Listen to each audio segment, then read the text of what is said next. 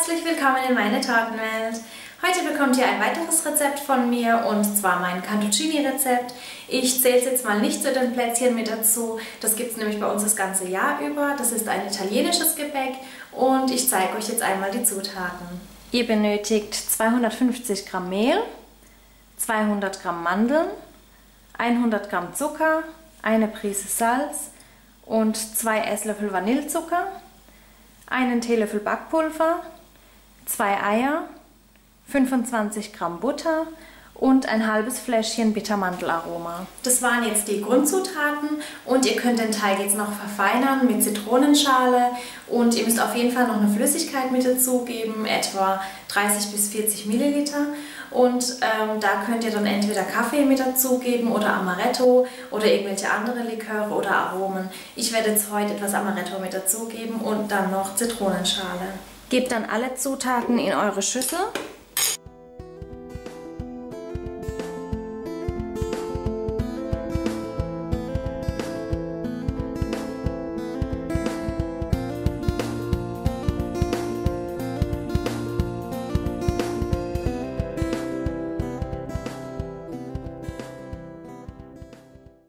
Bevor ich jetzt die Mandeln mit dazu gebe, lasse ich den Teig erstmal durchrühren.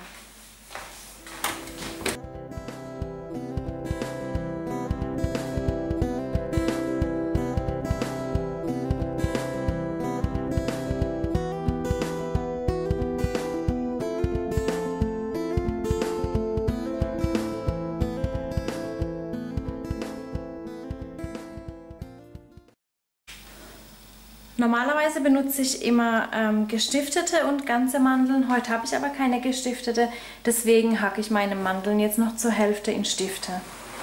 Und ihr dürft euch nicht verwundern, der, der Teig, der ist ziemlich klebrig, aber der gehört so.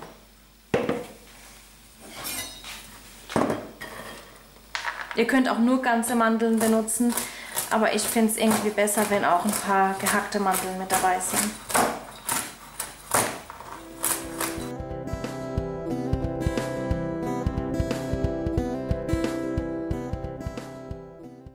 Dann gebt ihr die Mandeln hier einfach mit dazu. Auch die gehackten.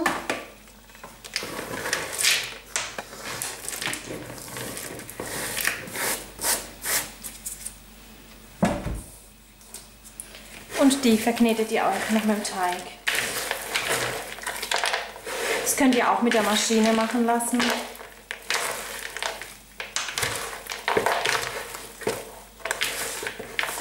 Wenn ihr den Teig dann fertig habt, könnt ihr ihn gleich weiterverarbeiten. Der muss nicht mehr gekühlt werden und die Cantuccini sind eigentlich schon fast fertig. Also die Zubereitung geht wirklich einfach und es folgen nur noch ganz wenige Schritte. Dann gebt ihr etwas Mehl auf die Arbeitsfläche oder etwas mehr. Der Teig klebt nämlich ziemlich. Und kratzt diesen klebrigen Teig aus der Form heraus.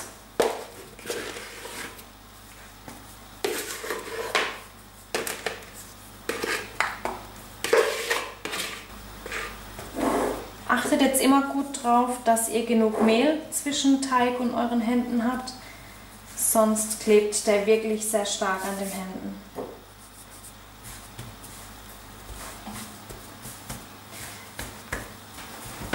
Den Teig halbiert ihr jetzt in zwei Teile und die teilt ihr dann nochmal in drei gleich große Stücke.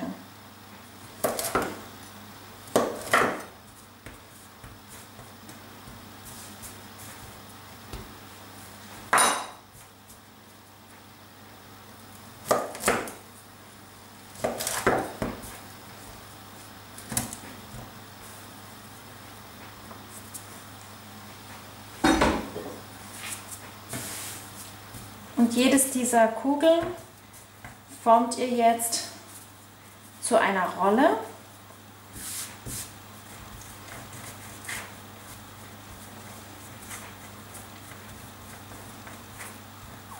Und jede Rolle hat ungefähr 25 cm an der Länge.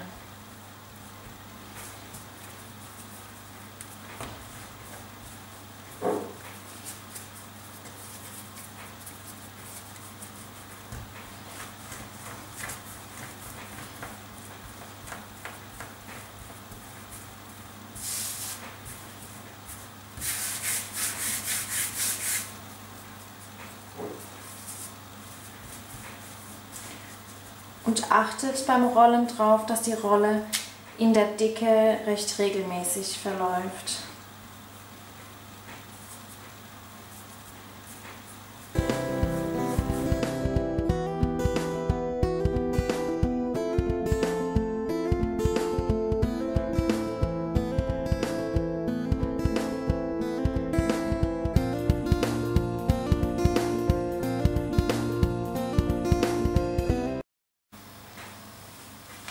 Die Rollen gebt ihr dann auf euer vorbereitetes Backblech.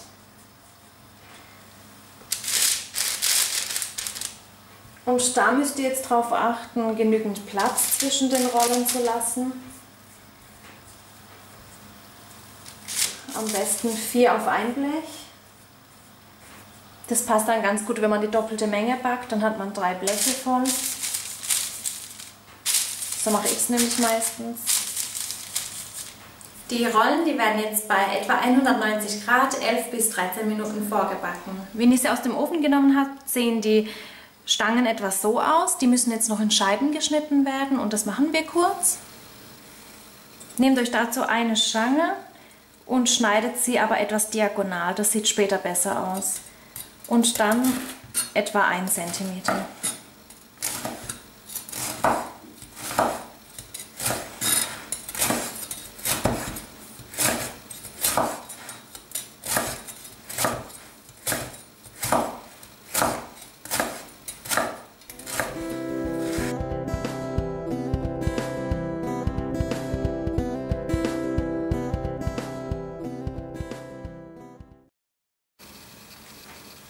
Danach nehmt ihr euch die Scheibchen und gebt sie auf ein Backblech. Da braucht ihr auch kein Backpapier dafür, die kleben ja nicht mehr. Und ähm, ordnet sie aber mit der Schnittkante nach oben an, damit sie schön an der Schnittkante noch rösten.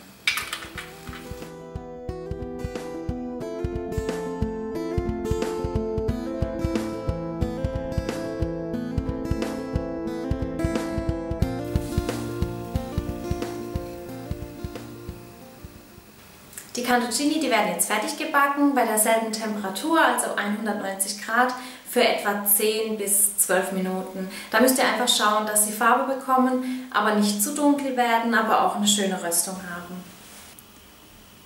Die Cantuccini sind fertig, wenn sie ungefähr so eine Bräune angenommen haben.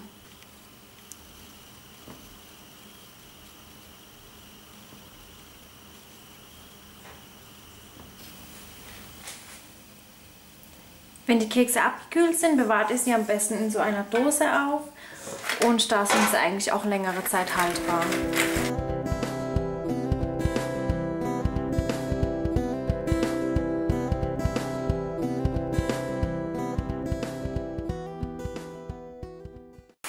Wie ihr seht, ist es ziemlich einfach, Cantuccinis herzustellen und ich finde, wenn man sie schon macht und sich den Aufwand macht, kann man auch gleich eine doppelte Menge machen. Und ähm, jetzt wünsche ich euch viel Spaß beim Nachbacken und gebt mir doch einfach Feedback zu diesem Video und zu dem Rezept und dann sehen wir uns einfach das nächste Mal wieder. Bis dann, tschüss!